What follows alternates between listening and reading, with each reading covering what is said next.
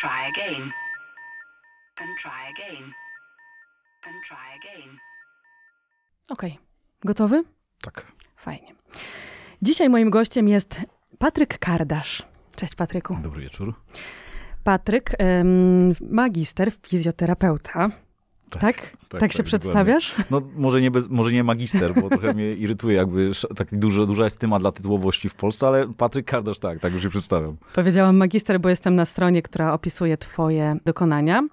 Więc możemy powiedzieć na początku samym, czym się zajmujesz? Ja jestem fizjoterapeutą. Mhm. Wyrastałem z specjalizacji fizjoterapii ortopedycznej, ale że bardzo szybko trafiłem na stawy skroniowo-żuchwowe. To był czwarty rok studiów, zdaje się.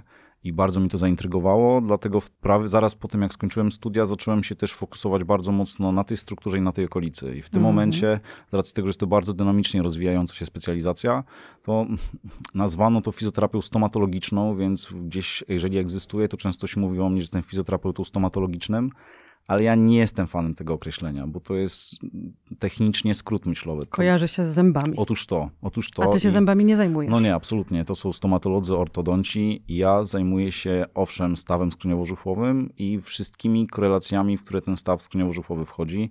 Czy to górny odcinek szyjny, czy odcinek generalnie szyjny, czy em, mechanika oddechu, praca klatki piersiowej. Mhm. A czasem, jeżeli dysfunkcje tego obszaru wynikają z nieprawidłowości w ustawieniu miednicy, z napięcia na mięśniach e, miednicy, czy ustawieniu kolan, stóp, no to wtedy też tym się zajmuję. No, natomiast na pewno nie pracuję na zębach. To, to jest dobra. oczywiste, więc można by powiedzieć, że to jest fizjoterapia obszaru czaszkowo-żuchwowo-szyjnego, no ale nazwa nie jest szczególnie krótka, więc skrótem myślowym stała się fizjoterapia czy rehabilitacja stomatologiczna. Okej, ale miałam takie pytanie i możemy je tutaj dygresyjnie zadać. Czy skoro nie zajmujesz się zębami, to, to jest tak, że jak ktoś ma problemy z zębami, bądź na przykład ich wielu nie ma, to ma jakiś wpływ na to, jak wydobywa dźwięk, jak mówi, jak oddycha? Czy jednak nie? Oczywiście. ma? To znaczy, Czyli jednak te zęby się pojawiają. Jak czasem. najbardziej, jak najbardziej. To znaczy, jeżeli mówimy o mm, balansie tego obszaru, to stawy skroniowo-żuchwowe wraz z zębami tworzą trójkąt podparcia.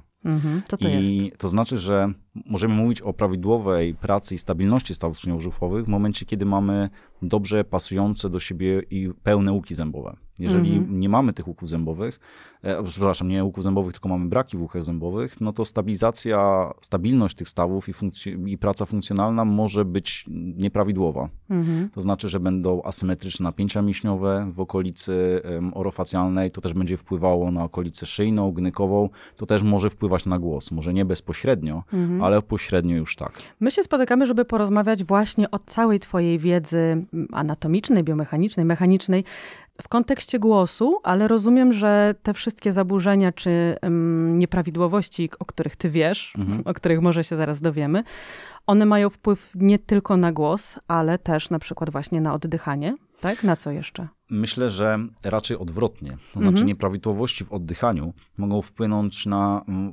fizjologię, funkcjonalność tego obszaru, prawda? Okej. Ale mm, zaburzenia połykania też mogą być tutaj mocno Mhm. istotne. E, Nie do końca to się jeszcze liniowo koreluje, ale jeżeli mamy em, wadę wzroku, która nie jest em, tożsama dla, oboje, dla obojga oczu, prawda? Mhm. Czyli jedno oko jest słabsze, to też będzie wymagało pewnej kompensacji ustawienia odcinka szyjnego głowy. Okej. I to też może wpłynąć na pośrednio na pracę tego obszaru. Mm, Jeżeli chodzi o dolegliwości skroniowo-żuchwowe, to coraz częściej łączy się to z zaburzeniami w obrębie mikrobioty jelitowej i poziomu serotoniny. No to Dlatego, teraz mi wytłumacz jak. e, Jak to łączysz te jest, kropki? To jest dość skomplikowane, jakby znaczy złożony wzorzec. To znaczy, Mhm. że pacjenci, którzy mają mm, nieprawidłowo pracującą mikrobiotę jelitową, prawdopodobnie mają obniżony poziom serotoniny. Mhm. I teraz, bo za wyrzut serotoniny do naszego organizmu i produkcję serotoniny w 90% odpowiedzialna jest mikrobiota jelitowa. Mhm. Jeżeli tej serotoniny mam deficyt, no to to będzie wpływało na nasz stan psychiczny, No nazwijmy tak. to w cudzysłowie, na nasz dobrostan. W związku z tym trochę też inaczej będziemy interpretować bodźce bólowe, szczególnie z tej okolicy. Bo Okej. mm, 45% reprezentacji mm, kory czuciowej w naszym ciele wynika, on, pochodzi z tego obszaru. Prawda? Mhm. Więc jeżeli mm, pojawia się jakiś ból, dyskomfort, prawda, a my mamy obniżoną jakość życia, obniżoną percepcję w związku z mm, niskim poziomem serotoniny, Mhm. no to ból tego obszaru może być e, odczuwany bardziej. I żeby cię nie skłamać, bo aż tak dokładnych statystyk nie prowadzę, ale co drugi, co trzeci pacjent albo ma depresję bądź stany lękowe Mhm. i o tym mówi, albo nie ma tego zdiagnozowanego, albo bierze leki na te dolegliwości, Mhm. natomiast no, w rozmowie wprost o tym nie mówi, no ale weryfikacje jakby jego leków mówią, że coś jest na rzeczy. Okej, czyli do ciebie przychodzą pacjenci i mówią, że co im jest, co im dolega. E, Najczęstszym objawem jest napięcie w obrębie mięśni rzucia, czyli tutaj policzki. Czyli napinają tutaj to, Tak, co czują, że- łączy tak, dwie tak, szczęki Co łączy szczękę z żuchwą. z żółw. Tak mówiąc Dobra, bardzo dobra, dobra. w mnie, my, Jasne. jakby tutaj merytorycznie, Jasne, proszę bardzo. jasne.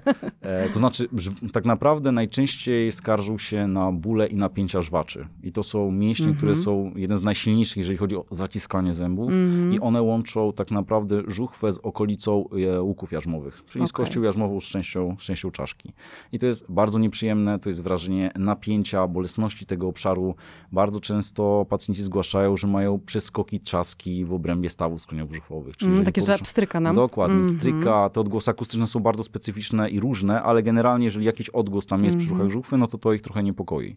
Często pojawiają się pacjenci, którzy po wizycie stomatologicznej dostają informację od stomatologa, że mają starte zęby. I to Mhm. nie jest, to jest dokładnie, tak, może, tak, dokładnie.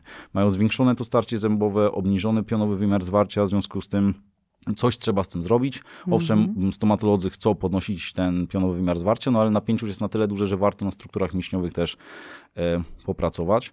Bardzo często, nie zawsze pacjenci wiążą to z tym obszarem, ale bóle głowy. Bóle Mhm. głowy, bóle odcinka szyjnego. One też z napięć wynikają? Tak, bardzo Mhm. często. I tutaj myślę, że mm, bóle głowy są tak dużą grupą objawów i nie do końca wprawnie zdiagnozowaną. Bardzo często pacjenci mówią, że mają bóle migrenowe, ale nie mają aury, która by wskazywała na tą migrenę. E, To są bóle, które średnio reagują na leki przeciwbólowe, Mhm. bardziej na leki rozluźniające, więc to by wskazywało, że są to raczej bóle napięciowe, tylko może nie do końca było to w taki sposób diagnozowane, albo nie, końca, nie do końca oni tak to zinterpretowali. Mhm. I tutaj okazuje się, że jest naprawdę bardzo duża zależność między ruchomością stawów skroniowo-żuchwowych albo po prostu ruchomością naszej buzi w stosunku do e, naszego górnego odcinka szyjnego.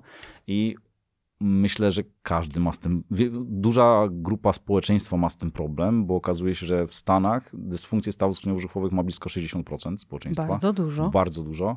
I myślę, że u wokalistów to też może być mocno obserwowalne albo Mhm. ograniczać jakość ich zdolności wokalnych. Mhm. A skąd to się bierze? Wiesz co, hipotez jest cała, cała masa. Mhm. Mm, Z naj, jedną, z najpo, jedną z najpopularniejszych hipotez w tym momencie jest stres. Tak, że stresujemy się, Mhm. więc zaciskamy zęby, No prawda? tak. Ale myślę, że również to można wiązać z zaburzoną mechaniką oddychania i zwężeniem Mhm. drożności górnych dróg oddechowych. No myślę, że stany depresyjne czy stany lękowe też tutaj mogą mocno wpływać. Mhm. Mm, Zaburzenia snu, to myślę, że równie mm, typowa, typowe powiązanie, dlatego że jeżeli mamy zaburzenia snu, nie śpimy efektywnie albo często się wybudzamy, w związku z tym mamy zaburzone poszczególne fazy snu. E, Podczas fazy REM nasze obciążenie emocjonalne jest analizowane i rozładowywane. Jeżeli tego nie ma, to nasz układ współczulny prawdopodobnie cały, jest, Mhm. cały czas jest pobudzany przez to obciążenie stresowo-emocjonalne, które nam towarzyszy podczas dnia. I to nam potem wychodzi Otóż między to. innymi w twarzy. Otóż to mówi tak? się to tak kolokwialnie, że stresujemy się tutaj zębami. Mhm. No i można tak roboczo powiedzieć, że faktycznie to jest obserwowalne u tych pacjentów. Mhm. Ale czy to jest tak, że ci pacjenci są kierowani przez innych lekarzy, na przykład internistów, czy sami myślą, że coś im dolega i stwierdzają i przychodzą do ciebie bezpośrednio?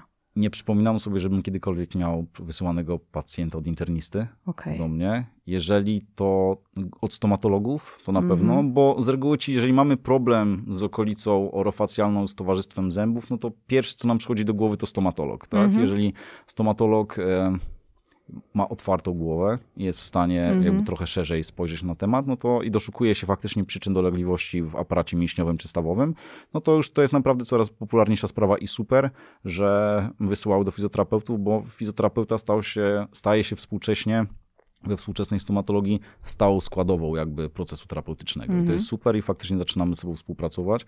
Drugimi specjalistami, którzy bardzo często wysyłają do mnie swoich pacjentów są logopedzi. Okej. Logopedzi, No którzy tak. pracują z wadami wymowy, z problemami, jeżeli chodzi o permanentne otwarcie ust u dzieci czy u dorosłych. Mhm. E, tak, także logopedzi są też specjalistami, którzy faktycznie relatywnie często tych pacjentów Mhm. wysyłają. Reszta specjalistów być może się na to otworzy, ale mm, tak jak mówię, to jest długi proces, myślę, bo tak jak ci wspominałem, to pewnie już powolutku wychodzi, dolegliwości tego obszaru to jest nieprawdopodobnie złożony, złożony temat. Właśnie widzę. Więc zanim dobrze służymy klocki, a wiemy, że no, system zdrowia w Polsce ma sobie wiele do poprawy. Nie pomaga składać absolutnie, klocków. Absolutnie, Bardzo nie. zwłaszcza państwowy, Tak. no to, to jeszcze długa droga przed nami. A czy zdarza się w drugą stronę, czyli na przykład do ciebie przychodzi pacjent, a ty mówisz i odsyłasz do innego specjalisty? Oczywiście, ja jestem zwolennikiem, żeby efektywnie pracować nad pacjentem, nad, nad pacjentem i z pacjentem i myśleć o jego wyleczeniu, a nie zaleczeniu, I do kogo zwłaszcza odsyłasz? w tym obszarze. To jest absolutnie praca interdyscyplinarna. Jeżeli uważam, że jakkolwiek problem jest z kontaktem zwarciowym albo z watami z gryzu, Mhm. to stomatolog albo ortodonta i z przyjemnością, bo to po prostu nie jest zakres mojej jurysdykcji. No, No ja tak. fizycznie nie jestem w Nie stanie ani poszerzyć szczęki, ani wyprostować zębów. Jeżeli widzę, że z językiem jest coś nie tak, Mhm. no to wtedy absolutnie logopeda. Prawda? Mhm. Owszem, my sobie razem współpracujemy i to przynosi naprawdę fajne efekty, ale no to są w tym momencie specjaliści od ustawienia języka, od fonacji, od połykania, mechanizmu Mhm. połykania. Także współczesny logopeda, ten logopeda, którego ja pamiętam z dzieciństwa, czyli ten, który walczy z szy i ry, no Mhm. to to już jest zupełnie inna, inna sprawa. Także to jest nieprawdopodobną przemianę ten zawód przeszedł i super, że idzie w tą stronę, bo no są coraz bardziej niezbędnymi, są bardzo niezbędnymi specjalistami w tym obszarze. E, Kiedy mam pacjenta z dolegliwościami okołusznymi, czyli jakieś szumy uszne albo odgłosy akustyczne przy połykaniu, to świetnie jest to skonfrontować z, z laryngologiem. I to Mhm. też jest często, mm, to są często pacjenci, którzy są nie, może nie nieprawidłowo, ale bardzo wąsko mm, analizowani. Mhm. I, a szumy uszne to jest dolegliwość, która e, jest em, powtarzalna w społeczeństwie i to nawet wie, wielu popula- wśród wielu popularnych osób mm, się zmagano z tą dolegliwością. Czy to, nie jestem do końca pewien, ale zdaje mi się, że Mozart, wydaje mi Okej. się, że Paul McCartney, e, wokalista Coldplaya, Mhm. ma szumy uszne i to jest o tyle nieprzyjemna dolegliwość, że ona ani nie zagraża życiu. Jeżeli rozwija się, to może wpłynąć na słuch, prawda? Mhm. Ale bardzo często na niego nie wpływa, jednak stwarza bardzo duży dyskomfort. Ale Jeżeli- mówisz ma, to znaczy, że to jest permanentny stan, nie Mhm. da się tego wyleczyć? Tak, tak, tak, tak, tak. Z czego to wynika? No właśnie sprawa jest o tyle enigmatyczna, że laryngolodzy umiarkowanie sobie z tym radzą pod tym kątem, że strukturalnie z uchem jest wszystko w porządku. Ale pacjent wciąż ma objawy szumów czy pisków w uchu. A to nie jest jednak wtedy psychologiczne? No z jedną koncepcji tak jest, Mhm. prawda, że laryngolodzy, jeżeli nie są w stanie znaleźć potencjalnych do, przyczyn dolegliwości, to doszukują się w tej sferze psyche pacjenta. Mhm. Ale musimy pamiętać, że na przykład staw skroniowo-żuchwowy jest ulokowany raptem 1,5 cm od kanału słuchowego zewnętrznego. Mhm. I przez kanał słuchowy zewnętrzny jesteśmy w stanie palpować torebkę stawu skroniowo-żuchwowego. Palpować, czyli? To ty, em, wyczuwać, Mhm. wyczuwać, Czyli sami palcem sobie. tak. Dokładnie tak. Mhm. Jeżeli wsunęłabyś sobie palec do ucha i Okej. otworzyła buzię, No, to jest duże prawdopodobieństwo, że poczujesz tam pewien ruch. okej. Także naprawdę jesteśmy w stanie, także ta odległość jest naprawdę niewielka. No to wszyscy mamy pracę domową. Tak jest, dokładnie. I dolegliwości stawu, stany zapalne, przemieszczenia krążka, bo staw skrzynią-żuchwowy ma krążek, który sprawia, że powierzchnie stawowe mm, precyzyjnie do siebie przylegają, Mhm. mogą wpłynąć na, na jakość naszego odbioru słuchu. Subiektywny, niekoniecznie strukturalny. To znaczy, że funkcjonalnie tam nie do końca coś Mhm. gra, natomiast strukturalnie jest czysto. No i wtedy laryngolodzy mają trochę związane ręce, no bo cóż tam robić, jeżeli strukturalnie wszystko jest ok. Prawda? To tak jak są czynnościowe zaburzenia krtani, to w tym przypadku można powiedzieć w pewnym sensie o czynnościowych zaburzeniach e, odbioru dźwięku. Mhm. A czy zdarza ci się odsyłać pacjenta właśnie do psychologa, żeby współpracować z psychologiem? Niestety nie mam konkretnego psychologa, z którym współpracuję. Mhm. Jeszcze takiego nie znalazłem, natomiast uważam, że terapia mm, psychologiczna jest niezbędna i to jest dla mnie też bardzo ważne. Wiesz, jeżeli mam pacjenta, który, z drugiego pacjenta, który ma depresję albo Mhm. stany lękowe, No więc właśnie. no to absolutnie, łazisz. O tym akurat to mi umknęło, ale to są- jest grupa specjalistów, Mhm. którzy absolutnie uważam, że powinni być w- wciągnie, wciągnięci, zaangażowani do procesu leczniczego tego obszaru. Mhm, To jest must have. Okej, to teraz wyobraźmy sobie, że przychodzi do ciebie pacjent, y, któremu coś dolega i stwierdzasz, że to jest w zakresie twojej jurysdykcji, czyli jesteś w stanie mu pomóc. Na czym polega twoja pomoc? Przede wszystkim do, na ocenie jego funkcji, prawda? Czyli jak ten obszar... Czyli czy wszystko mechanicznie dobrze Dokładnie działa? tak, ale Mhm. mechanicznie z punktu widzenia na przykład, dobrze, czy dobrze oddycha, czy ruchomość żuchwy jest w ogólnie pojętych prawidłowych zakresach, prawda? Czy jego Mhm. postawa jest względnie prawidłowa. Czyli patrzysz na całość od stop, stóp do głów? Staram się. Co prawda, Mhm. pierwsza terapia raczej dotyczy tego obszaru, może Mhm. niekoniecznie pracy na mięśniach żółcia, Czyli czy na obszaru- żuchwowym. Tak, czaszkowo-żuchwowo-szwinnego nazwijmy Nazwij- to. Albo orofacjalnego. Orofacjalnego tak? Tak, będzie dla mnie łatwiej, dobra. E, Także e, staram się patrzeć na niego globalnie, natomiast pierwsza terapia raczej jest tutaj lokalnie i patrzę, jak, jak mi na to responduje.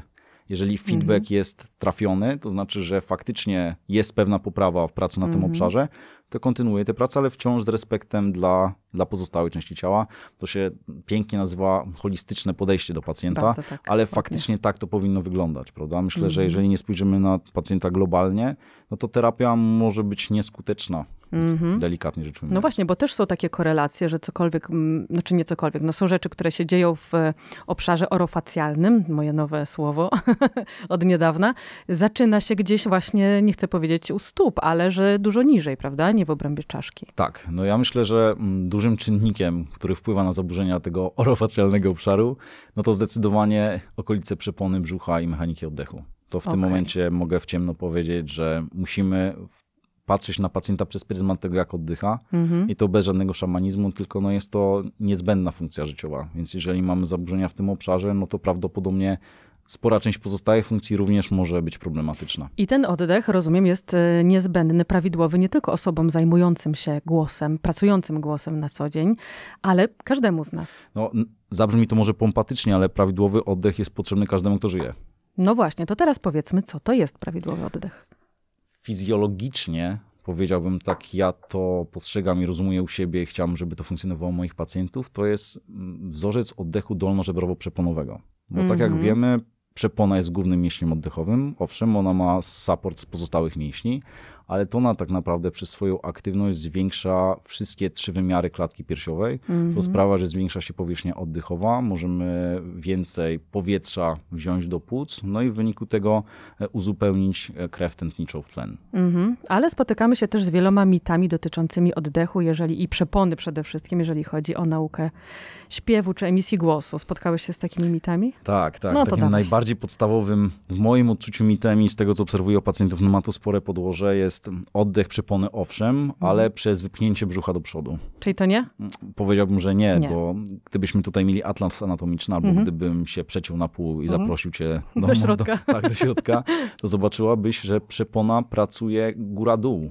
To Przepona jest mięśniem. Tak, mięśniem Mhm. dokładnie i pracuje ogonowo-czaszkowo, a nie brzuszno-grzbietowo. Okej. Prawda? Czyli ona nie pracuje w Mhm. stronę brzucha i w stronę pleców, tylko pracuje w stronę, kurczy się i rozkurcza w stronę czaszki, w stronę... Gardło stopy. Dokładnie. Mhm. I dzięki temu k- klatka piersiowa zwiększa swoje wymiary poprzeczne, ale Mhm. do brzucha powietrze nie idzie. Prawda? To nie ma Mhm. tutaj absolutnie... To skąd ten brzuch się wziął?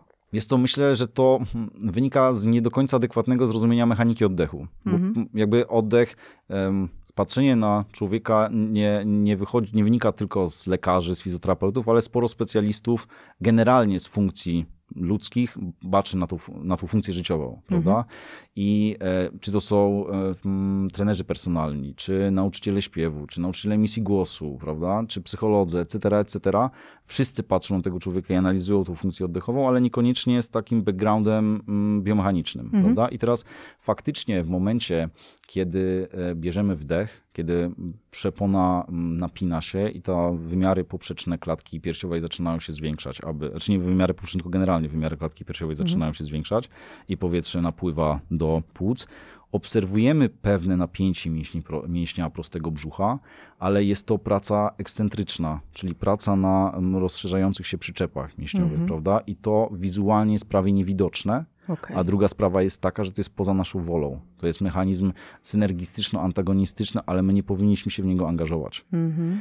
I przy wydechu, co ciekawe, ten mięsień faktycznie, mięsień prosty brzucha nabina, nap- napina się sensu stricte, bo chce znowu ściągnąć klatkę piersiową do swojego pierwotnego kształtu, ale to również nie powinno zachodzić z naszym świadomym udziałem. Mhm. Co więcej, jeżeli no tak strasznie chcemy pracować brzuchem przy oddechu, no to musimy pamiętać, że tam się generuje ci, zwiększone ciśnienie, Mhm. a w brzuchu no, mamy przecież narządy wewnętrzne, jelita, wątroba, żołądek, to wszystko dostaje w cudzysłowie w kość, tak, prawda? Mhm. Więc, więc musielibyśmy, powinniśmy z dużą estymą podchodzić do tego obszaru Mhm. i, i trochę więcej uwagi zwrócić na pracę przepony, ale, ale no też nie oczekujmy, że każdy będzie wiedział, jak ta przepona ma pracować, Mhm. prawda? Także to jest problem, który nie do końca wiem, jak ugryźć. Myślę, że to powinno się, że ta świadomość powinna rosnąć na poziomie szkoły podstawowej. I Mhm. na lekcjach biologii powinniśmy się uczyć o nas głównie, No tak. a, a nie o tym, jak jest perfekcyjnie czy dokładnie zbudowany pantofelek, prawda? Ten, no tutaj, tak, który nam się pojawia. Otóż to, tak, to jest chyba sztandarowy tak, przykład, tak, tak. ale ja się z tym mocno zgadzam. To znaczy, owszem, fajnie, jak ktoś jest zainteresowany biologią i rozwija tą wiedzę, ale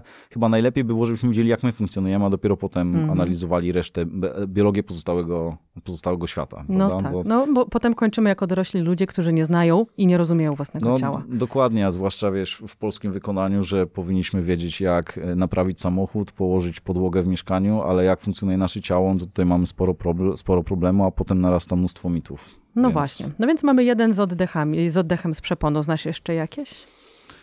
Wiesz co, to jest chyba ten, który najczęściej do mnie, Pojawia się. po, u Mhm. mnie się pojawia. Bardzo często też walczyłem z mitem, ale to już raczej nie kwestia oddechu, tylko kwestia artykulacji, mianowicie e, korek w zębach. Tak? Okej, Czyli co wiesz, nam robi źle, a co dobrze? E, No generalnie robi źle wszystko. Czyli nic dobrze. Absolutnie. To znaczy dużo osób zajmujących się autoprezentacją i występami w mediach gdzieś tam Mhm. jeszcze wciąż podkręca ten mit, że to jest Pojawia dobra, się, to tak, prawda. Też to jest Mhm. dobra mechanika pracy, no ale generalnie statyczne napięcie w naszym ciele nigdy nie jest dobre. I teraz wyobraź sobie, że zegniesz sobie rękę w łokciu, Mhm. prawda, do 90 Wiem. stopni i będziesz to utrzymywać przez 10 minut. Okej, A po tych odpadam. 10 minutach jeszcze zaczynasz w takim ustawieniu na przykład malować obraz. Mhm. No, abstrakcja No totalna, tak. prawda? A teraz e, i stawy skrzyniowo-żuchwowe z punktu widzenia biomechaniki to też są stawy ortopedyczne i, i pracują podobnie jak stawy obwodowe. I Mhm. teraz wyobraźmy sobie, że zamykamy żuchwę w pewnym, zamykamy stawy skrzyniowo-żuchwowe w pewnym zakresie, Mhm. prawda? Czyli tym te, korkiem w Tak, z tym korkiem, Mhm. czyli ten łokieć w 90 stopniach i każą nam mówić. Mhm. Czyli przysłowiowo malujemy ten obraz na No napiętym tak. łokciu. No, No tak. Mechanika jest niemal identyczna.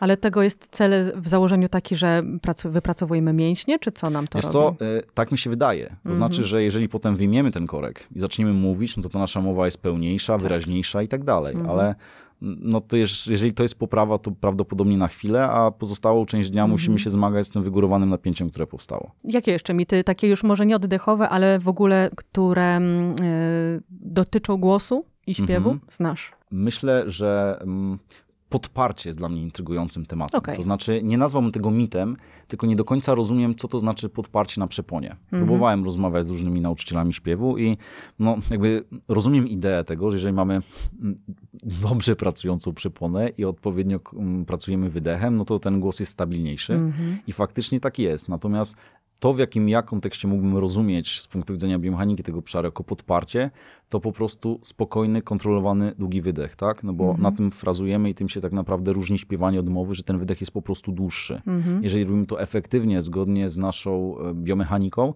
no to faktycznie ten oddech jest stabilny i na nim można budować, ale nie za bardzo rozumiem, czy, czy podparcie przypony w takim, takiej interpretacji jest napięcie brzucha wtedy, bo jeżeli Mhm. tak jest, no to to jest totalna brednia.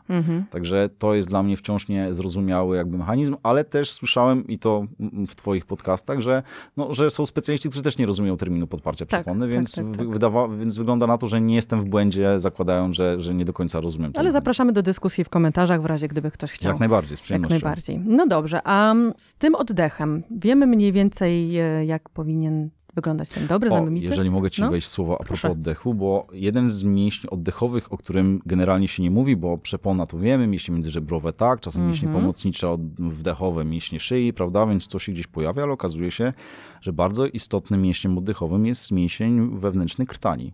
Okej, I co on to nam jest robi? mięsień e, pierścienno-nalewkowy tylny, który po prostu rozszerza szparę głośni. Okej, I dzięki temu jesteśmy w stanie po prostu wziąć ten wdech, no bo krtań leży w trakcie oddechowym i jeżeli Mhm. ta e, szpara jest poszerzona, prawda, no to powietrze nam po prostu dociera do płuc. mhm. I okazuje się, że to jest mięsień, który ma największy metabolizm wśród mięśni krtani. Więc jest to całkiem ważny pracuś tego obszaru. Mhm. A musimy pamiętać, że oddech jest starszą funkcją filogenetyczną niż artykulacja, mowa czy śpiew. czyli po Czy- polsku. e, To znaczy, że ewolucyjnie był pierwszy, prawda? No to jest jakby logiczne, że najpierw musieliśmy oddychać, żeby potem myśleć o komunikacji, No prawda? tak, No i no faktycznie, tak. faktycznie, tak się, faktycznie tak się stało. Także a propos i teraz, jeżeli główny mięsień oddechowy, czyli przepona, może pracować nieefektywnie, Mhm. no to możemy pójść o jeden mm, bloczek biomechaniczny dalej, że ten mięsień oddechowy, pierścienno-nalewkowy, Mhm. tylny również będzie pracował nieefektywnie. Jeżeli on nie będzie Mhm. pracował ef- nieefektywnie, no to ten balans między zwieraczami a rozwieraczami szpary głośni może być zaburzony, a to już będzie bardzo leniwo wpływało na fonację. Mhm. A te zwieracze, ile ich tam mamy? O matko, dobre pytanie. Ale że ki- kilka co najmniej, tak, tak, tak, Dobra, tak, tak, tak. To dobrze. znaczy rozwieracz jest e, unikatowy, bo jest jeden. Mhm. Zwieraczy jest co najmniej raz, mm, dwa, no trzy przynajmniej. Mhm. E, Natomiast musimy jeszcze pamiętać, że poza zwieraczami i zwieraczami szpary głośni mamy też mięśnie, które wpływają na napięcie strun głosowych. A Mhm. to już jest w ogóle nieprawdopodobnie ciekawy mechanizm. Okej, a kto, nad którymi z tych mięśni, bo e, zwieracz mi się kojarzy jako taki, nad którym nie do końca mamy kontrolę. Mhm. Mamy czy nie? Wiesz co, e, pewnie w niektórych szkołach śpiewu wskazywano, że mamy, prawda? Mhm. Natomiast myślę, że ten mechanizm raczej warto zostawić sobie samemu, prawda? Mhm. I raczej skupić się na tej funkcji oddechowej, bo jeżeli ona będzie prawidłowo działać, jeżeli nasze ciało będzie ustawione prawidłowo, to te mięśnie z założenia mają pracować prawidłowo, prawda? Mhm. Owszem, są techniki, które pokazują, że można pracować między chrząstką tarczowatą a pierścieniowatą, jakkolwiek immobilizować, bo to też, one też tworzą stawy, prawda? Mhm. To znaczy krtanie ma jasno określoną biomechanikę, i która ma co najmniej dwa stawy i te stawy pracują względem siebie, prawda? Więc coś Mhm. te ruchy w tych stawach musi napędzać i są to mięśnie. Więc w pewnym sensie możemy nad nich pracować, jeżeli sytuacja, nazwijmy to, jest zła, to znaczy, że nie wiem, szybko tracimy głos, ten głos jest bardzo cichy i faktycznie, jeżeli bezpośrednio w tej mechanice krtania jest jakiś problem, to możemy próbować co z tym, coś z nią robić, ale myślę, że tutaj ten oddech jest, jest kluczowy. Oddech. Mhm. Czy to jest tak, że ten oddech jest jednak podstawą prawidłowego działania w obszarze orofacjalnym wszędzie i zawsze, czy, czy nie? Czy to nie jest tak, że to jest podstawa? No ja bym powiedział, że to jest Podstawa. podstawa. Czyli Absolutnie. jeżeli cokolwiek nam się dzieje, zastanówmy się, czy dobrze oddychamy? Dokładnie tak, dokładnie tak. I mnóstwo badań pokazuje, że wiele dolegliwości, które do tej pory nie wiązaliśmy z oddechem, mogą być od tego oddechu uzależnione, na przykład ADHD. Jak to jest powiązane? Wiesz co, to jest kolejne skomplikowane powiązanie. To znaczy okazuje się, że niedaleko ośrodka oddechowego w Mhm. naszym układzie nerwowym przebiega droga dopaminergiczna, jedna z dróg dopaminergicznych. A u pacjentów z ADHD często mamy deficyt dopaminy. Mhm. I teraz można domniemywać, to jeszcze jest w sferie, sferze hipotez i jeszcze pewnie długo będziemy to weryfikować, natomiast można zaryzykować, że mamy powiązanie między mechanizmami wyrzutu czy obecności dopaminy w naszym organizmie, a mechanizmem oddechu. Mhm. I robiono bardzo ciekawy znaczy, eksperyment, doświadczenie, zdaje się pod koniec 2021 roku na grupie 100 brazylijskich dzieci, czy w każdym razie grupy z Ameryki Południowej, tutaj, Mhm. żeby nie, nie zakłamać, które weryfikowało mm, ich objawy uzależnione od e, zaburzeń oddechu i zaburzeń snu, bo to Mhm. często jest tożsame. Mhm. I okazało się, że dzieciaki, które nie śpią efektywnie, bardzo często śpiewały z otwartymi ustami, a to z automatu będzie zaburzało jakby efektywność oddechu, manifestowały dużo objawów zaliczanych do grupy ADHD. Mhm. Więc można postawić pewną hipotezę, że korelacja jest dość, dość liniowa. Okej, i przychodzi do ciebie pacjent z takim domniemaniem, że coś mu jednak jest, może nie oddycha źle. Jak sprawdzasz, czy oddycha dobrze? Przede wszystkim zwracam uwagę, jak szybko oddycha. Jeżeli Mhm. oddycha płytko i oddechów na minutę jest w okolicach 30-40, Mhm. no to można domniemywać, że coś jest nie tak. Dodatkowo dla mnie bardzo istotny jest stosunek wdechu do wydechu. Długości. Tak, Mhm. dokładnie. I powiedziałbym, że wydech jest nawet ważniejszy niż wdech. Mhm. Jaki ma być to stosunek? Wiesz co, mówi się, że wydech powinien być mniej więcej dwukrotnie dłuższy niż wdech. Okej. No i śpiewając można się z tym zgodzić absolutnie, Mhm, prawda? Także, także to, ma, to ma podparcie, natomiast hemoglobina chętnie wiąże się z tlenem w, w naczyniach włosowatych pęcherzyków płucnych wtedy, kiedy mamy podwyższony poziom dwutlenku węgla. Więc my Mhm. tego dwutlenku węgla i wydechu po prostu potrzebujemy. Okej, czyli długość y, i częstotliwość. Coś jeszcze? E, No właśnie, jak jest z aktywnością mięśni oddechowych? Czy on przypadkiem przy wdechu nie wypina mi tego brzucha do przodu? Mhm. Czy raczej porusza dolnymi żebrami podczas oddechu? Czy pracuje tylko górna część klat- górne żebra, górna część klatki piersiowej i barki z każdym Mhm, oddechem mhm. pracują? No bo to, to też jest jakby nadmierne obciążanie z kompleksu barkowego. Jeżeli z każdym wdechem barki idą do góry, a to wcale nie jest taki odosobniony Mhm. mechanizm. Więc to są głównie składowe, na które zwracam uwagę. Okej. Mm, Jeżeli ktoś ci mówi, jeżeli stwierdzasz, że ten ktoś na przykład oddycha za często albo oddycha właśnie za płytko, to co dalej? No, myślę, że zaczynam mm, od sprawdzenia napięcia tych struktur, które mm, nieprogramowo pracują. Czyli Mhm. na przykład, jeżeli brzuch cały czas jest aktywny podczas oddechu, to jak bardzo te mięśnie proste brzucha są napięte, jak napięte są mięśnie szyi, bo to napięcie też mu nie będzie ułatwiało powrotu do tego fizjologicznego wzorca oddechowego, więc jeżeli mogę go jakoś manualnie odciążyć, to staram się to robić. A potem rozmawiamy, jak ten oddech powinien wyglądać i wprowadzam jakieś podstawowe ćwiczenia, bo najważniejsze jest, żeby ten pacjent sobie uświadomił, co robi źle i jak to może robić lepiej.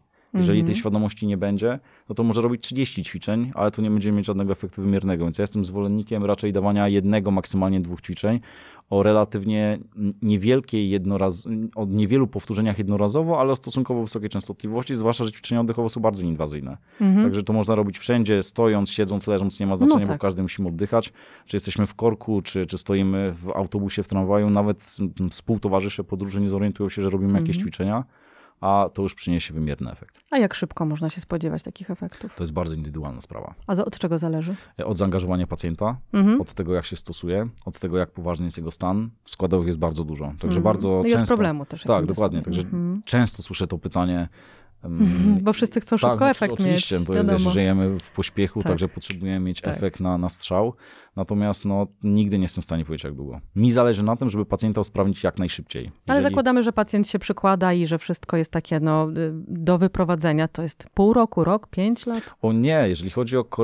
Wiesz co, jakby poprawa oddechu jest tak szybko odczuwalna, Mhm. że, że efekty mogą być. Te pierwsze efekty naprawdę szybko. To jest kwestia tego, jak chcemy dopracowywać szczegóły i jak daleko pacjent widzi e, cel terapeutyczny. No nie? Mhm. Jeżeli to jest jakaś taka naprawdę podstawowa sprawa, no to tydzień, dwa, trzy, ale tak jak mówię, bardzo nie lubię strzelać liczbami, bo to, to jest niewymierne, no nie? Więc, więc Mhm. nie chcę tutaj wprowadzać w błąd. Okej. No dobrze, no to mamy oddech. Zajrzeliśmy do zwieraczy i do tych mięśni wokół krtani. A sama krtani jeszcze? Mhm, to znaczy, ja fizycznie nie jestem w stanie zajrzeć. No nie, do- do ale zajrzeliśmy w Tym sensie tym tematami raczej, tutaj w tak, podcaście. Tym się raczej, raczej, nie raczej tylko foniatrzy zajmują, Okej. prawda? Więc oni mają odpowiednią aparaturę, są odpowiednio do tego szkoleni, więc to, jest, to Mhm. nie jest moja jurysdykcja. Mhm. Ja mogę zwrócić uwagę na ustawienie krtani i na Mhm. napięcie mięśni gnikowych. Ale zwracasz przez ze, zewnętrzne sprawdzanie takie manualne, tak? Palpacenie sobie Mhm. weryfikuje, czy, czy jej rzut jest faktycznie taki, jak jest to opisane co do szerszego społeczeństwa. I sprawdzam też napięcie mięśni gnykowych. Które to są? To są mm, mięśnie przedniej ściany szyi, które Mhm. łączą żuchwę z kością gnykową. Która to jest ta kość gynkowa? E, Tutaj, jeżeli wyczujesz sobie chrząstkę tarczowatą, Mhm. Dobra, Znaczy, otwieramy atlas e, wszyscy. do, to może inaczej. Chrząstka, mm, zespolenie chrząstek tarczowatych jest bardziej prominentne, e, transparentne u mężczyzn, dlatego że nazywam to jabłkiem Okej. Adama. No dobra, prawda? czyli takie coś. Więc ta, ta Mhm. okolica u, u kobiet, prawda? Dobra. I troszeczkę wyżej Mhm. trafisz znowu na twardą kostną strukturę. Tak. To jest kość gnykowa. Okej. I między kością gnykową a żuchwą i czaszką przyczepiają się Mhm. kości nadgnykowe. Mhm. Natomiast między kością gnykową, e, krtanią, a okolicą mostka, obojczyka i łopatki przyczepiają się Mhm. mięśnie podgnykowe. Także Okej. można nieładnie powiedzieć, że krtań jest w dużej mierze niewolnikiem kości, niewolnikiem mięśni gnykowych i e, kości gnykowej, bo jest z nią po prostu i więzadłowo, i, Mhm. i mięśniowo powiązana. Niesamowite. I co ciekawe, mięśnie gnykowe, zwłaszcza nadgnykowe z punktu widzenia już stawów skrzyniów-żuchwowych, są mięśniami, które obniżają żuchwę. Mhm. Także jeżeli mamy jakieś ograniczenia, ograniczenia czy deficyty w zakresie otwarcia ust, to prawdopodobnie te mięśnie będą napięte albo nie pracowały efektywnie. To Że jest- nam się nie otwiera do końca tak, żuchwa, dokładnie, tak? Dokładnie, Mhm. że nie będą pracowały efektywnie, a to będzie wpływało na zmianę pozycji kości gnykowej, zmianę pozycji krtani. I zmiana pozycji krtani przy pracy głosem, czy w ogóle mówieniu, ale śpiewaniu, jakby jakie ma? Jest no, Efekty. mówi się, że jeżeli chcemy wejść na wyższe tony, to automatycznie krtań ucieka delikatnie ku czaszko, do, do czaszkowo. Jeżeli Mhm. chcemy pracować na, na niższych tonach, to do ogonowo. Prawda? Mhm. Więc jeżeli mamy permanentnie podciągniętą krtań ku górze bądź ku dołowi, no to będziemy mieć ograniczone pole albo łatwość przeskakiwania między, między Mhm. tonami, albo będzie to znacznie bardziej obciążające. Okej. Co może powodować potem jakieś zaburzenia już poważniejsze? Tak, i już ewidentnie zaburzać strukturę, prawda? Myślę, Mhm. że, że guzki głosowe, czy już takie zaburzenia strukturalne w obrębie mięśni krtani czy struktur krtani mogą wynikać z tego, że jest ona jakby nieefektywnie, albo inaczej, niefizjologicznie ustawione, albo mięśnie, które w jakimś stopniu zarządzają, pracują nieefektywnie. I teraz jeszcze ciekawostka a propos e, krtani, żuchwy i zakresu otwarcia. Bardzo często śpiewając musimy mieć ten zakres otwarcia ust, prawda? No tak. Generalnie tak. No, na zamkniętych ustach nie da się śpiewać. I jeżeli mamy deficyty w otwarciu ust, to takim częstym mechanizmem kompensacyjnym jest przeprost w górnym odcinku szyjnym, czyli odchylenie głowy do tyłu. Mhm. I to jest często widoczne u osób, które ziewają, prawda? Jeżeli ziewamy, a mamy ograniczenie, to ziewamy przez odchylenie Mhm, głowy do tyłu, do prawda? tyłu. Więc w związku z tym, jeżeli chcemy popracować na, na mocnych dźwiękach i popracować wysoko Mhm. i chcemy szeroko otworzyć usta, a nie mamy tego zakresu fizjologicznie, bo doszło do jakichś zaburzeń pracy mięśni, no to mocno obciążamy sobie okolicę podpotyliczną. Mhm. Dlatego pozostaje pytanie, jak wielu wokalistów po koncercie czy po mocnym treningu ma bóle głowy na przykład. Bo No może to z tego wynikać. Może. Okej, w tym temacie orofacjalnym y, zajrzeliśmy do krtani, do tych zwieraczy właśnie. Czy w kontekście śpiewu i pracy głosem polecałbyś zwrócenie uwagi jeszcze na jakąś część? Jasne, myślę, że połykanie. Połykanie Okej. i praca języka. Mhm. Dlatego, że e, środkowy zwieracz krtani przyczepia się do kości gnykowej, e, dolny zwieracz krtani przyczepia się do... E, dolny zwieracz... Ga, przepraszam. E, środkowy zwieracz gardła przyczepia się do kości gnykowej, Mhm. dolny zwieracz gardła przyczepia się do krtani. W związku z tym te Mhm. mięśnie bezpośrednio wpływają na ustawienie, ustawienie krtani, Mhm. prawda? I nadaktywny mięsień zwieracz gardła dolny może pociągać krtań ku tyłowi. I teraz jeżeli e, mamy zaburzony mechanizm połykania, a połykamy, źródła mówią różnie, od 600 do 2000 razy Na dziennie, Mhm. dziennie, no to ta krtań może dostać w kość. Co to znaczy zaburzony? Mm, Zaburzony Pro, zwieracz? proces y, połykania. E, połykania, to znaczy, że e, empirycznie może być to odczuwalne w taki sposób, że głośno połykamy. Połykanie powinno być raczej bezdźwięczne. Mhm. Albo e, podczas połykania robimy dodatkowe współruchy głowy, czyli wysuwamy do przodu, żeby Mhm. połknąć. Albo pokazuje się jakaś zwiększona aktywność mięśni. Mimicznych. To też jest często obserwowalne. Mhm. E, więc to są takie jasne symptomy, że coś jest nie tak.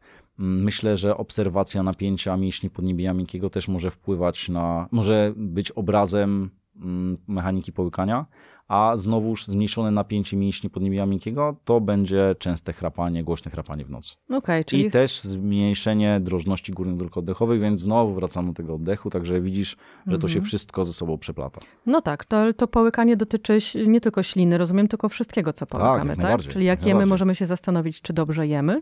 Oczywiście, czy przede wszystkim dobrze przeżuwamy.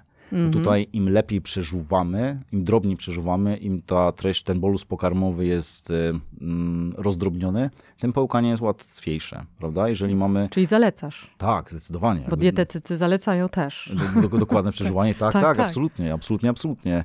Poza tym im dłużej przeżuwamy, tym więcej wytwarza się amylazy ślinowej, hormon, e, enzymu, który zaczyna wstępne trawienie Aha. m, jakby treści pokarmowej, więc jak najbardziej. Co więcej, pytałaś o deficyty zębowe. Mhm. Jeżeli mamy deficyty zębowe, to będziemy przeżuwać mniej efektywnie. Więc znowu będziemy zaburzać, obciążać bardziej mechanizm połykania, Mhm. a to będzie też wpływało pośrednio na krtań. No dobrze, a wyrywanie ósemek ma jakiś wpływ na to, jak my mówimy, połykamy i pracuje nam wszystko? Zależy jak ekstrakcja była traumatyczna. Prawda? No W sensie bo bolesna, tak? Dokładnie. Mhm. Słyszy się często wśród pacjentów nawet, że szczególnie dolne ósemki są problematyczne do usuwania, Mhm. że szarpana była głowa albo głowa była dociskana, prawda? Pacjenci są bardzo opuchnięci. No to, to nie jest wina stomatologów, prawda? No czasem Mhm. te ósemki po prostu bardzo niefortunnie są ułożone. Ale no to jest mocno traumatyczne i to będzie wpływało znowu na obronne napięcie mięśni żółcia, No tak. na mm, obronne napięcie języka, a język jest no, nieprawdopodobnie istotnym mięśniem, jeżeli chodzi o okolicę orofacjalną. Mhm. Zaryzykowałbym stwierdzenie, to jak już pewnie setny raz się powtórzyłem, że oddech jest tak ważny, to w obszarze orofacjalnym język jest tak ważny. Mhm. Więc jeżeli on też będzie pracował niefizjologiczny, to sporo funkcji, w tym właśnie połykanie, artykulacja, w dużej mierze śpiew, mogą być upośledzone. A czy sam brak ósemek jest jakimś, y, może być źródłem jakichś problemów, czy nie? Wiesz co, to wszystko zależy od tego, jak my stoimy ze zwarciem zębowym. To znaczy, czy zęby górnego i dolnego łuku zębowego do siebie przylegają, Mhm. bo mm, no, generalnie, patrząc ewolucyjnie, to nasze żuchwy i szczęki robią się coraz mniejsze i prawdopodobnie wynika to z tego, że mamy coraz bardziej przetworzone jedzenie, coraz większe prawda? W Mhm. związku z tym uznaje się, że te ósemki, zęby mądrości, ale co zęby mądrości, skoro takie trzeba usunąć. No i Tak. one 200 lat temu były potrzebne, bo to jest pokazane w nekropolii pod Paryżem, prawda? Mhm. Że tamte szczęki, żuchwy jednak mieściły te ósemki i funkcjonowało to całkiem Mhm. nieźle, ale tak jak mówimy, zmienia nam się styl życia, więc...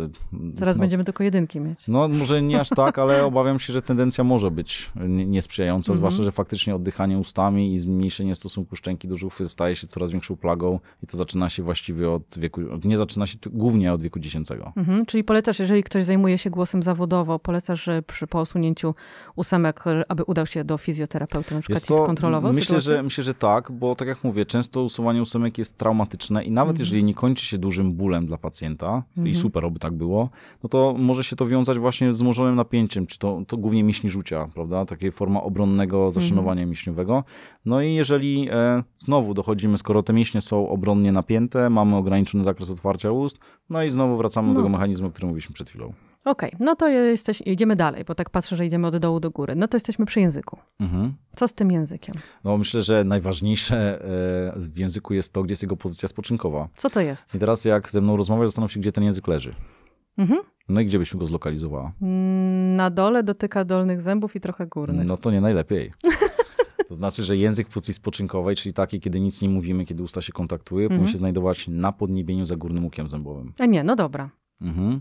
Jeżeli jest na Ale zębów dotyka. no a to, to dotykać nie powinien. Okej. I teraz pozostaje pytanie, dlaczego tych zębów dotyka? Czy być może dlatego, że e, napięcie pewnych mięśni języka powoduje wypychanie języka do przodu? Mhm. Czy być może nie masz odpowiedniego miejsca na podniebieniu, bo Okej. szerokość podniebienia jest zbyt krótka. To już jest, no to już jest znacznie bardziej skomplikowany scenariusz, no Czyli bo, wizyta przede mną. bo u osób dorosłych nie jesteśmy w stanie już poszerzyć podniebienia, to już raczej Mhm. A u dzieci tak? tak, u dzieci Mhm. tak i dzięki Bogu to się robi i robi się to całkiem efektywnie, pod warunkiem, że dobrze się to wychwyci, ale tak jak powiedziałem, to już jest robota ortodontów, ale oni sobie naprawdę z tym dobrze radzą, więc, Mhm. więc myślę, że e, kiedy mamy dziecko, które nie przyjmowało pokarm piersią, Mhm. które oddycha otwartymi ustami, które ma problemy z artykulacją, nie mówi ryszy, cierzy, no to myślę, że poza terapią logopedyczną, fizjoterapeutyczną, kontrola e, czy konsultacja ortodontyczna jest kolejnym must have, który musi być. Okej, a zajmujemy się śpiewem e, zawodowo i na co powinniśmy zwrócić uwagę, jeżeli chodzi o język, oprócz tej E, pozycji? No myślę, że wyszedłbym przede wszystkim do tej pozycji spoczynkowej, Mhm. prawda? I czy podczas połykania, czyli tak naprawdę niezależnie czy jesteśmy wokalistami, czy lektorami, czy po prostu kompletnie nie pracujemy głosem, powinniśmy Mhm. zwracać uwagę właściwie na to samo, prawda? Mhm, Bo Okej. e, ze śpiewaniem w moim odczuciu jest trochę tak jak z bieganiem. To Mhm. znaczy, że bieganie jest dla nas naturalnym źródłem lokomocji. To jest upgrade chodzenia, nazwijmy to. I dla mnie śpiewanie jest upgrade'em mówienia. Owszem, są pewne składowe, które muszą być zachowane, tak jak przy bieganiu jest to faza lotu, a tak przy śpiewie jest faza, wydłużona faza wydechu. Mhm. Ale jeżeli spojrzymy na rozwój osobniczy człowieka, jego egzystencję w społeczeństwie, śpiew nam to wyszło bardzo szybko, prawda? Wszystkie e, spędzanie czasu plemienne, potem to przeszło do rytuałów religijnych, Mhm. e, do biesiad na weselach, prawda? Gdzie było życie społeczne, ten śpiew nam towarzyszył. Tak. Zresztą prowadziła, miałaś świetny podcast o, o śpiewie ludowym, czy takim Mhm. organicznym, Z prawda? Knitel. Dokładnie, także e, no teraz to niestety umiera, ale ten śpiew był bardzo ważną składową i nie był niczym wyjątkowym. Mhm. Oczywiście ktoś, kto śpiewa zawodowo, no to możemy go porównać do profesjonalnego sportowca, prawda? Dokładnie, do maratończyka, czy na, nawet kulturysty, prawda? Tak. Więc owszem, jego układ mięśniowy, czy w tym, tej sytuacji układ wokalny, układ fonacyjny będzie znacznie bardziej obciążany, ale podstawy wszyscy musimy mieć takie same, prawda? Mhm. Więc jeżeli mówimy o języku, to jego pozycja spoczynkowa, jaką pracuje na podniebieniu podczas połykania, bo on też się powinien tam pozycjonować, delikatnie dociskać, powodować ciśnienie, dzięki któremu ten bolus pokarmowy będzie spadał w trakt jelitowy, ale to, to powinno działać tak jak u każdego. Mhm. Spotkałam się mm, w trakcie różnych zajęć e, z emisji głosu z takimi ćwiczeniami, gdzie się wsadza palec pod język na przykład, tutaj w okolice żuchwy i się masuje te różne takie Mhm. punkty i to potwornie boli. Tak, jeżeli jest duże napięcie. No właśnie. to potwornie boli, ale ja raczej jestem zwolennikiem pracy bezbólowej z pacjentem. Dlatego, Dlaczego? że mm, defini- sama definicja bólu o tym mówi. To znaczy, Mhm. ból jest informacją o aktualnym lub potencjalnym uszkodzeniu tkanki. I to zawsze jest informacja alarmująca dla naszego układu nerwowego. No jakbyśmy się zastanowili, to jeżeli chcemy prowokować ból, Mhm. to dlaczego podczas operacji, zabiegów czy interwencji stomatologicznych zostajemy znieczuleni? Dlatego, Mhm. żeby dodatkowo nie przemęczać tego układu nerwowego. Także praca z bólem mm, niezależnie gdzie pracujemy, a zwłaszcza w tak wrażliwym obszarze jak obszar orofacjalny, no jest może nie dyskusyjna, bo jest sporo technik, które jednak pracują z tym bólem, ale mi klinicznie to się nie do końca sprawdza i zauważyłem, że mam podobne efekty, a może nawet lepsze, w momencie, kiedy tego bólu nie, nie, nie prowokują pacjentów. Mhm. Bezbólowo pracujesz, czyli jak? To znaczy, że staram się, nawet jeżeli pracuję na aparacie mięśniowym, Mhm. to dokładać taki docisk albo w taki sposób to robić, żeby mm, no, nie sprowokować bólu. To znaczy, Mhm. robię to znacznie delikatniej. Także część pacjentów, która jest przyzwyczajona do takiego bardzo, bardzo intensywnej, bardzo intensywnej, bardzo forsownej pracy, może odczuwać, że właściwie nic z nimi nie robię.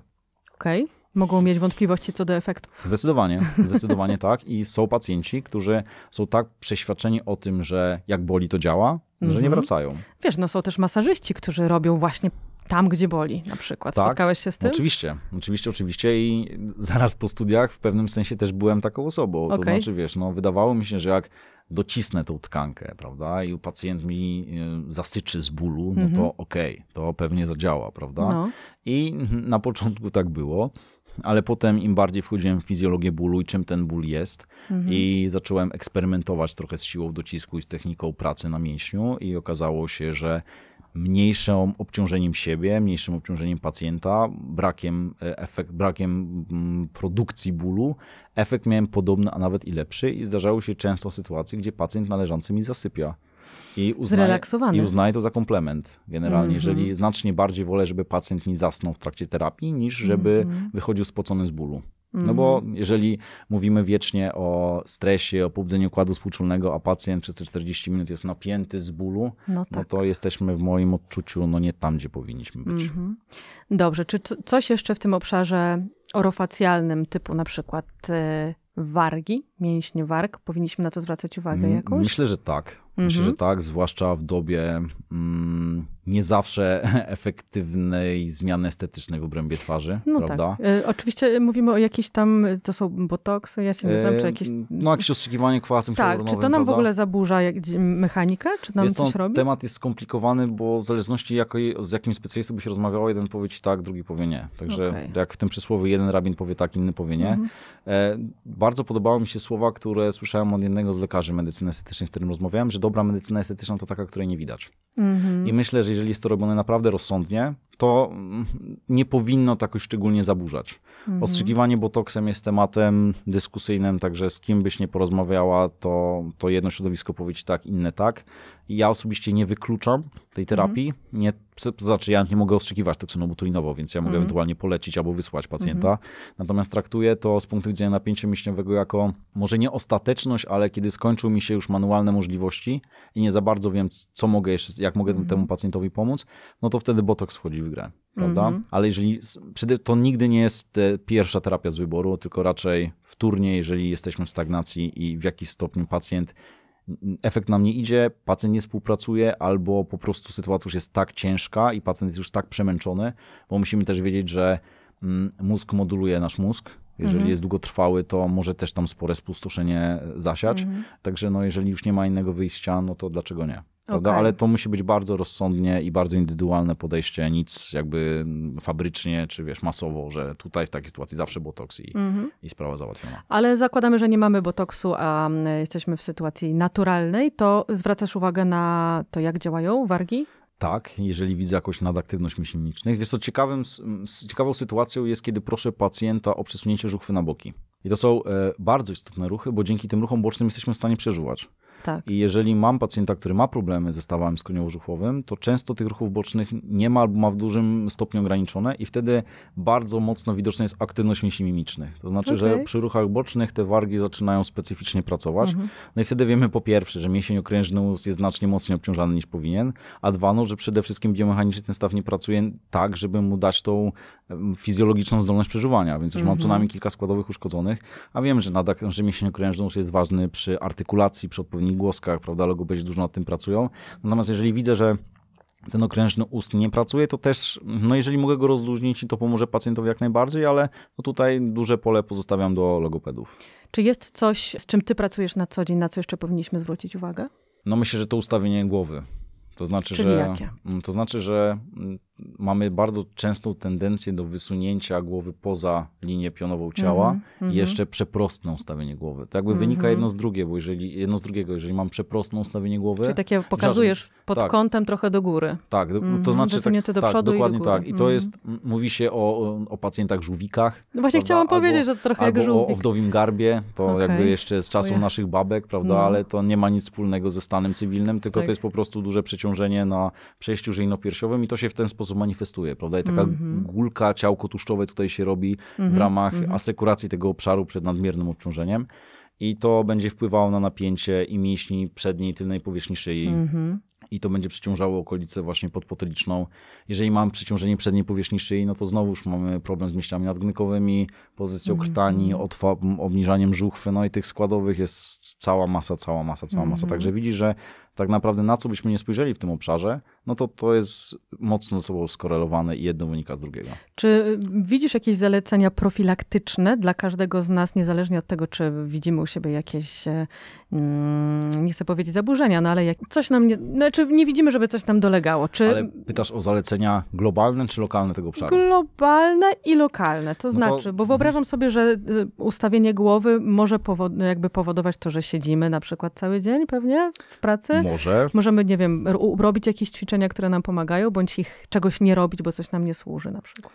Wiesz co, do tej pory właśnie uznawano, że to doprzednie ustawienie głowy, protrakcyjne ustawienie głowy, czy w nomenklaturze anglosaskiej forward head posture, jest właśnie wynikiem siedzącego trybu życia. Mhm. W tym momencie, w związku z tym, że coraz bardziej fokusujemy się na oddechu, bardzo możliwe, że to takie doprzednie ustawienie głowy jest mechanizmem udrażniającym górne drogi oddechowe, czyli to Okej. jest kompensacja naszego mechanizmu, dzięki któremu możemy efektywnie oddychać, bo jest nam to po prostu potrzebne i bardziej priorytetowe z punktu widzenia codziennej aktywności, Mhm. prawda? Więc e, no, myślę, że absolutnie nie można już teraz dyskredytować siedzenia, że skoro już teraz oddech, to możemy siedzieć ile wlezie, ale, ale no bo nasza- wiadomo, że to nie jest dobre tak czy siak. Oczywiście, że siedzenie dla nas nie jest fizjologiczne, dlatego myślę, że siedzenie i to w jaki sposób pracujemy, jaka jest ergonomia pracy, jak mamy ustawione komputery, jak my funkcjonujemy względem tych komputerów jest równie ważne. Ale, ale znowu po raz setny ten oddech. A wracając do pytania o takie wskazówki czy zalecenia, to jeżeli mówimy o lokalnych zaleceniach, no to na pewno oddech, pozycja spoczynkowa języka i zwrócenie uwagi na to, żeby w sytuacji spoczynkowej, czyli kiedy nic nie mówimy, kiedy wargi górne i dolne, dolne się stykają, żeby zęby się nie kontaktowały ze sobą, żeby była delikatna szpara spoczynkowa między nimi. Mhm. E, Badania Sprawdzam mówią, sobie wszystko. Badania mówią, że to powinno być między 2 a 4 mm. Mhm. Dystans między górnym a dolnym łukiem zębowym. To oczywiście nie chodzi o to, żebyśmy zakierką co chwilę chodzili i mierzyli, prawda? Ale zwrócili uwagę na to, żeby zęby na sobie nie leżały, bo nie Mhm. musimy ich zaciskać, ale to już będzie powodowało stymulację zębnej i jakąś odpowiedź zwrotną z układu nerwowego. Mhm. Jeżeli chodzi o globalne zalecenia, to zabrzmi jak e, totalny frazes i coś, co pewnie wszyscy mówią wszędzie, ale odpowiednia aktywność ruchowa, odpowiedni sen, nawodnienie i zróżnicowana dieta. To są rzeczy, które dotykają wszystkich specjalizacji i brzmią bardzo banalnie, ale no po prostu takie są. No mogę oddać sobie do odcięcia fragment lewej ręki, ale gdybyśmy się odpowiednio ruszali, to wcale nie mam na myśli ciężkich maratońskich treningów czy chodzenia na siłownię 7 dni w tygodniu, tylko po prostu zrobili te 15 tysięcy kroków dziennie, tak? Albo poszli na dłuższy spacer z dzieckiem, z psem, z partnerem, partnerką, whatever, to już by dało odpowiedni efekt. No i oczywiście to odpowiednie nawodnienie, odpowiedni sen, no bo jednak po coś ewolucja zmusza nas do poświęcenia jednej trzeciej dnia na sen, to znaczy, że to musi być równie istotna funkcja, skoro z punktu widzenia mm, rozwoju człowieka i to, jak funkcjonował te kilkanaście tysięcy lat temu, była niebezpieczna, tak? No bo po prostu przez te 8 godzin byliśmy narażeni na ryzyko śmierci, zaatakowania przez drapieżnika, a jednak nasz organizm tego wymagał, no to coś musi w tym być. A co to znaczy odpowiedni sen? Taki, który jest nieprzerywany, Przez ile godzin? no myślę, że te 7-8 godzin powinien być. Mhm. To znaczy, że nie powinniśmy się wybudzać w trakcie snu.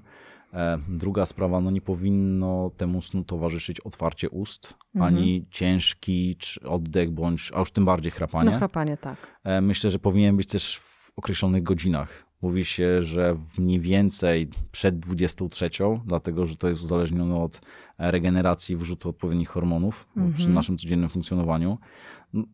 Przy czym teraz mówi się o tych sztywnych godzinach, ale też musimy e, pamiętać o tym, że człowiek jednak jest zwierzęciem i też funkcjonujemy w pewnym rytmie i tym rytmem wyznaczającym to, kiedy śpimy, a kiedy funkcjonujemy jest zachód i wschód słońca. Tak? Czyli no jeżeli e, no powinniśmy się kłaść spać e, wtedy, kiedy to słońce zachodzi i budzić, kiedy słońce wschodzi. Brzmi to, jakbyśmy mhm. tutaj dyskutowali o chłopach i czasach remontowskich, no, ale prawda? do tego się sprowadzamy. Ale, ale no niestety tak jest, więc myślę, że to, jakie mamy w tym momencie funkcjonowanie kulturowe, bardzo mocno zaburza nasze funkcjonowanie biologiczne mhm. i raczej za to płacimy, a nie zyskujemy. Znaczy, osobniczo za to płacimy, no a społecznie za, mhm. zyskujemy, prawda? No bo jednak zdominowaliśmy ten świat jako tak. gatunek ludzki, prawda? No mhm. ale znowuż, mieszkając w Hiszpanii czy na Wyspach Zielonego Przylądka, tak. trochę to będzie inaczej wyglądało niż mhm. spędzanie, e, niż sen na Islandii, prawda? Więc no to też jest temat dość wątpliwy. Powiem ci, że to niesamowite, bo wydawać by się mogło, że no coś mnie tam boli pod lewym policzkiem, idę do ciebie i tu się okazuje, że źle śpię, źle się odżywiam, w zasadzie nie uprawiam sportu, krzywo stoję, a do tego jeszcze wyginam głowę i wszystko nagle w życiu muszę poodwracać, żeby nagle mnie tam gdzieś nie bolało. Jesteśmy strasznie powiązani wszystkim ze sobą. Dokładnie tak i to, co teraz mówisz, jest strasznie smutną prawdą, ale, ale jednak prawdą. To znaczy, że funkcjonując z przeświadczeniem, że właściwie nic nam się nie dzieje, no okazuje się, że to nasze ciało no, nie do końca funkcjonuje w taki sposób, jaki aktualnie znana fizjologia by sobie tego życzyła. Mhm. Pozostaje też pytanie, czy to, że teraz jesteśmy pokrzywieni, e, źle śpimy, źle oddychamy, być może jest jakąś formą e, już zmian ewolucyjnych, bo -hmm. musimy wiedzieć, że ewolucja nie jest dobra albo zła, tylko ewolucja ma nam zagwarantować przeżycie w stosunku do aktualnych warunków środowiskowych.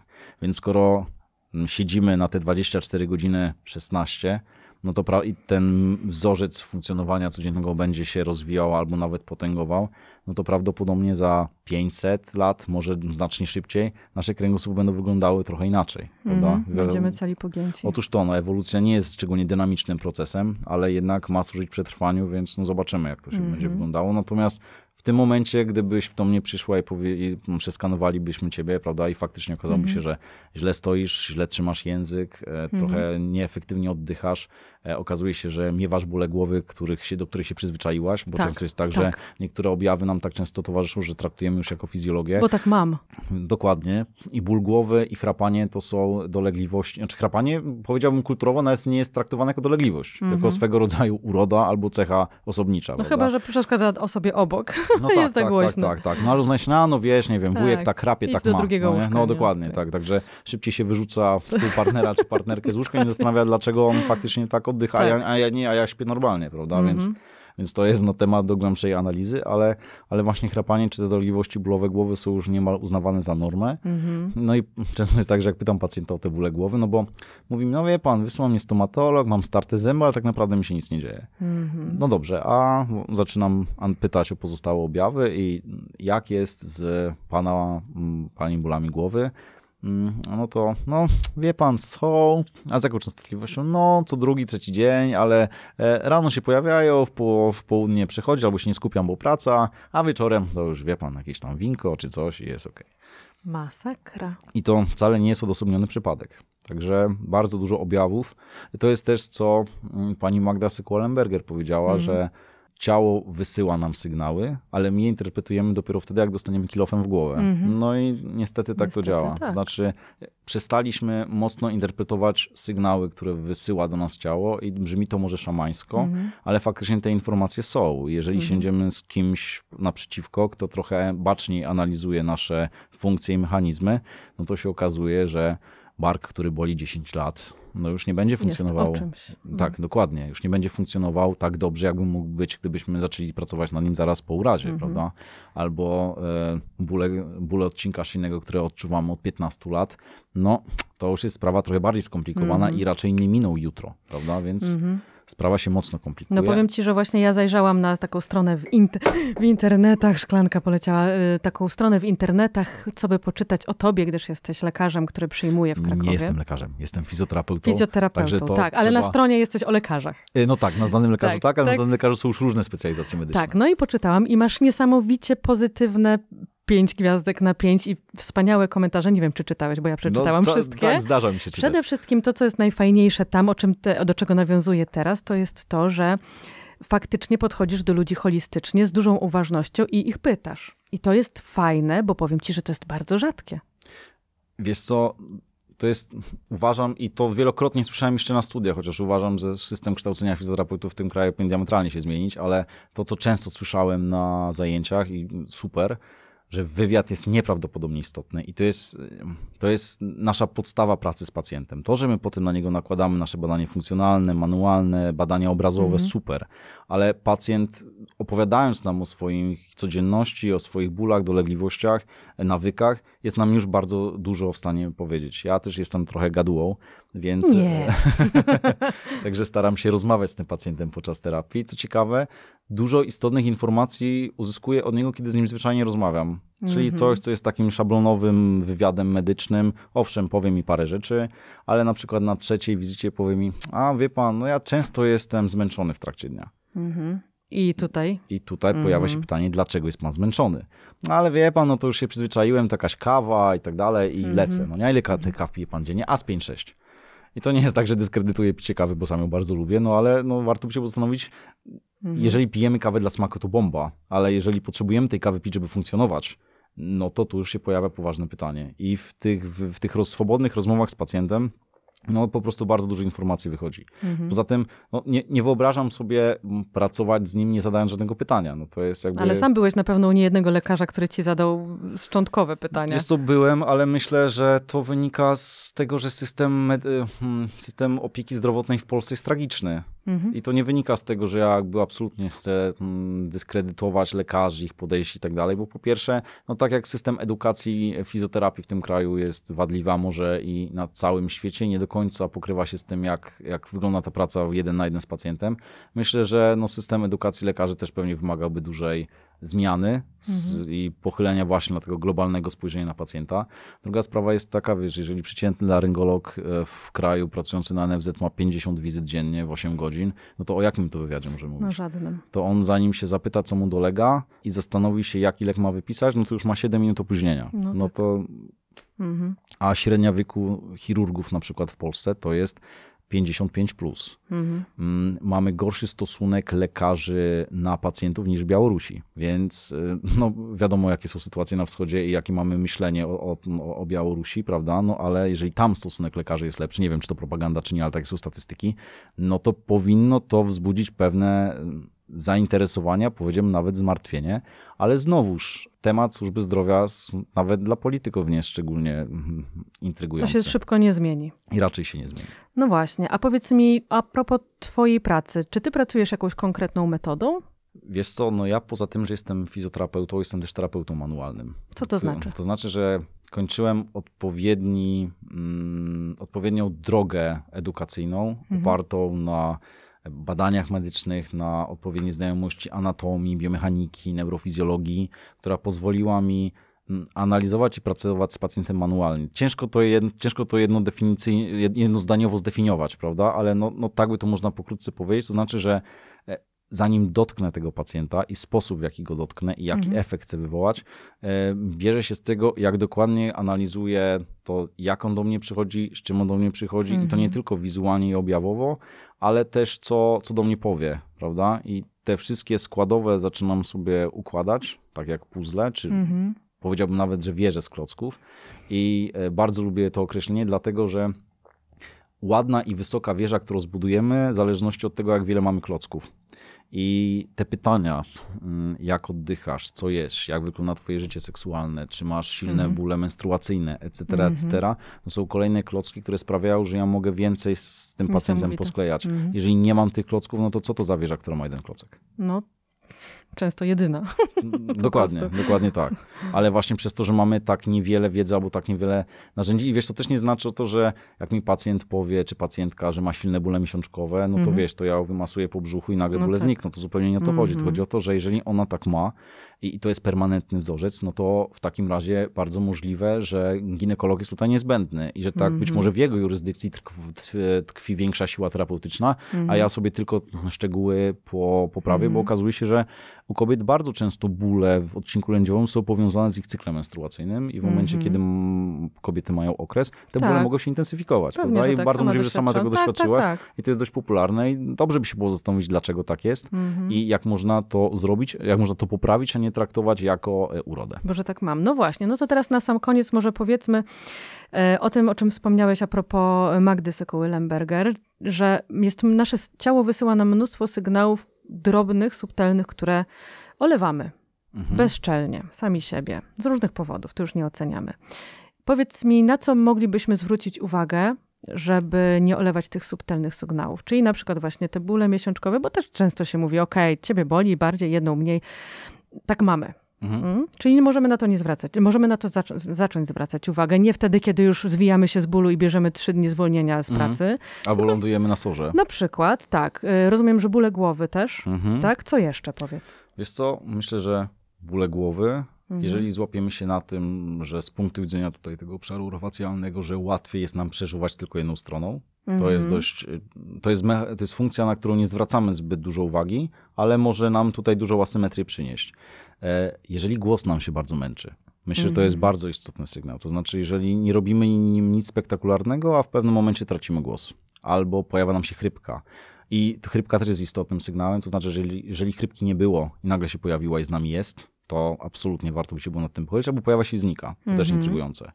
E, Bardzo ciekawym sygnałem z tego obszaru, który jest totalnie bagatelizowany, są bóle gardła, ale nie pochodzenia infekcyjnego. To znaczy, że na Mhm. przykład budzimy się i gardło nas trochę boli. A skąd mamy wiedzieć, że to nie jest infekcyjne? No wiesz, kiedy nie czujesz, że masz gorączkę, prawda? Mhm. Kiedy być może są jakieś wątpliwości, idziesz do lekarza, lekarz mówi, że, że gardło jest w porządku. Mhm. Albo kiedy ten ból gardła trwa 2-3 godziny, napijesz się herbaty, kawy, trochę po, m, coś porobisz Okej. i nagle znika. O czym to może być? No to prawdopodobnie może być związane z nieefektywnością zwieraczy gardła, albo Mhm. właśnie z nieodpowiednim napięciem na mięśniach podniebienia miękkiego. Mhm. Bo w nocy, jeżeli chrapiemy, te mięśnie drgają ponadprogramowo, Mhm. obciążają się i, i tak jest. Jeżeli Okej. chodzi o kwestie orofacjalne, to też warto zwrócić uwagę na to, że kiedy się budzimy, mamy problem z otwarciem ust.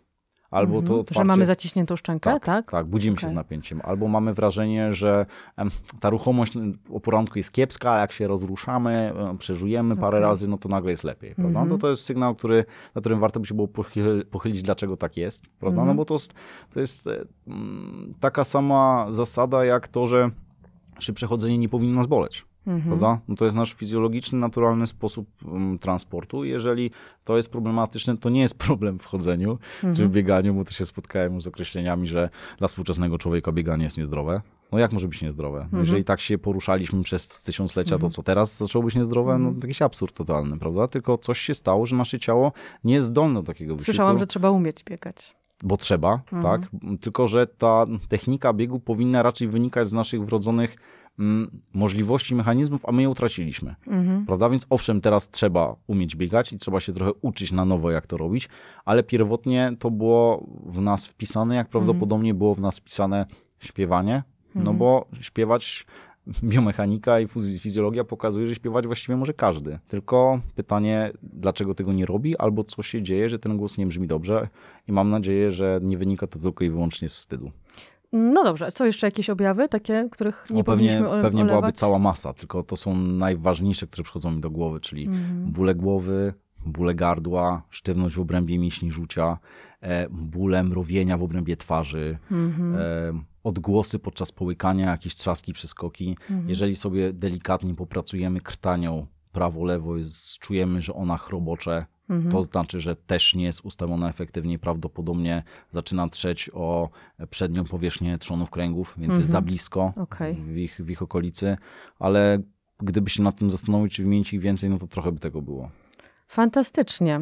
To jest y, dobra informacja dla nas, że możemy zwracać uwagę na te subtelne I nawet sygnały. powinniśmy. I powinniśmy, więc y, taki apel wystosowujemy na koniec. A powiedz mi, jakich pacjentów ci życzyć? Ja myślę, że najlepszym Żadnych. życzeniem byłoby tak.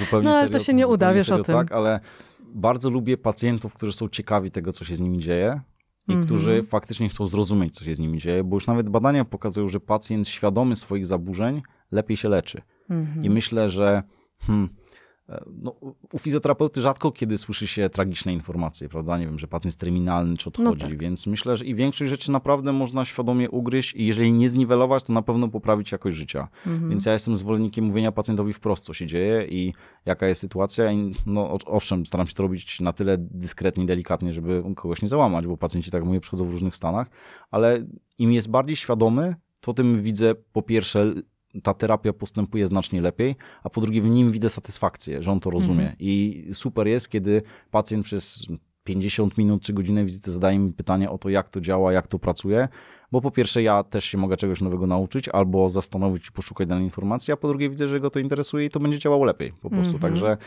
przede wszystkim jak najmniej pacjentów, tak? Dlatego, że no, generalnie idylą naszej pracy jest, żeby nie pracować, tak? Mhm, Wtedy byłoby mhm. świetnie. A jeżeli już, no to świadomi i tacy, których proces terapeutyczny postępuje szybko. To takich ci życzę. Bardzo dziękuję ci Bardzo za dziękuję.